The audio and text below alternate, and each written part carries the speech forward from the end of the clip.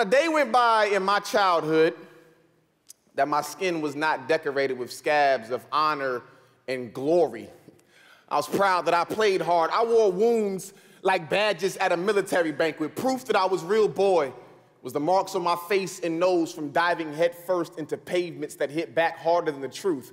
On the first day of school, I ain't no wish to show off first. My new shoes or the skin peeling on the back of my leg from last week's bicycle accident, and I couldn't wait for it to scab over so I could pick at it. Yeah, I'm one of those people, but I don't eat them. That's gross. I'm not one of those people.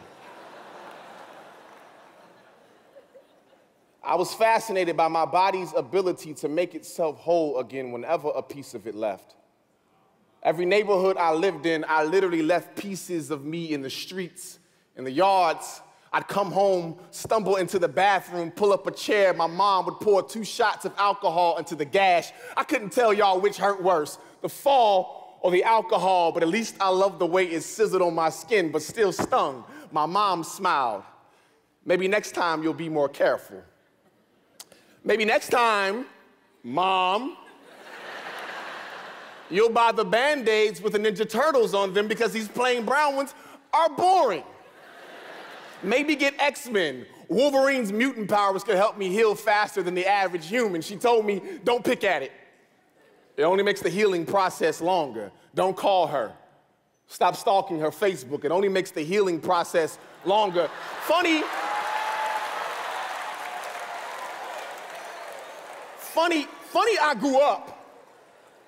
I grew up and still tried to use alcohol to clean my wounds. This time, an effort to take away the sting. One time, I fell in love. Okay, two times I fell in love.